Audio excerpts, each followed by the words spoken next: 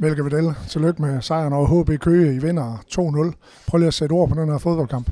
Mange tack. Eh, øh, nej, men jag syns vi har en, vi har en god kamp. Øh, eh, första halvlek så, så är det små detaljer som gör att vi kanske inte gör ett och två mål i, i, i första där i, i början framförallt. Jag syns vi, vi straffar dem inte tillräckligt mycket på de bolltappen som de har. Eh, men jag syns annars vi har en väldigt god kamp. Ja, fordi I, I får jo jeres muligheder i første halvleg for også at komme foran med 2-0, og det kan måske gøre kampen lidt mere tryg. Det bliver lidt utrygt alligevel, da der kun står 1-0 til sidst. Ja, men det är riktigt. Alltså, øh, när vi får tvåan, precis när, när Lukas gör tvåan, då blir det ett helt annat lugn på hela arenan. Eh, øh, och självklart så ska vi göra mer än ett mål i första halvlek med alla de chanserna som vi har. Eh, men man måste börja med att komma till chanserna och sen så är jag säker på att målen, det kommer komma. Det kommer komma. Ja, for så står der 1-0, øh, da I kommer et stykke ind i anden halvleg, og så får Køge lige pludselig nogle små muligheder. Var du nervøs den?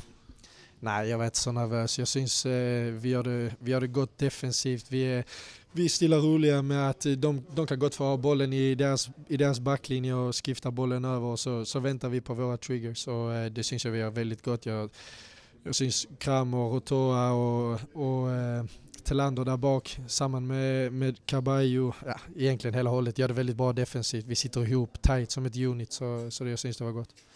Og så laver du et nyt øh, drømmemål. Prøv lige at sætte ord på det.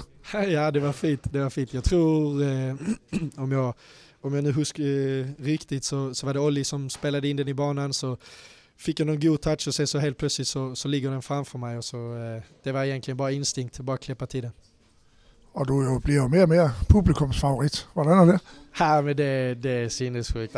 Jag fick stå och hoppa med hela Västerbullen idag och det var, det var mega fett. Så eh, det är ett minne jag kommer att ta med mig för, för resten av livet. Jeg prøver lige at sætte ord på den der støtte, I får, også i dag. Nej, det, det, det går inte att jämföra med något annat. Alltså det, det är helt sjukt.